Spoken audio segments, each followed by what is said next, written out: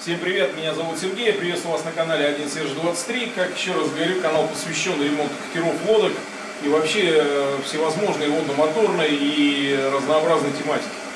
Э, в данном ролике речь пойдет о ходе работ по катеру Билайнер 1802. Как видели в предыдущем ролике, корпус катера был отреставрирован, не этот, э, восстановлен гелькоутом.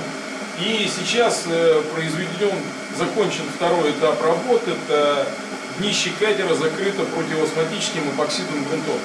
Вот смотрите, как получается сейчас на выходе. Данная работа делается для того, чтобы улучшить э, гелькоут, не улучшить, а сохранить э, родной гелькоут катера максимально.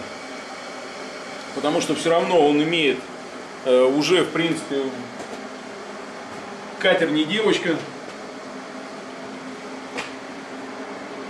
Он частично все равно потерял свои свойства. И вот данным, э, за счет данного грунта Gelshell 200, это эпоксидный грунт.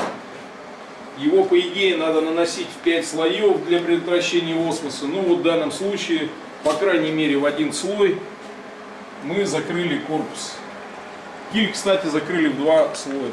То есть краски хватило.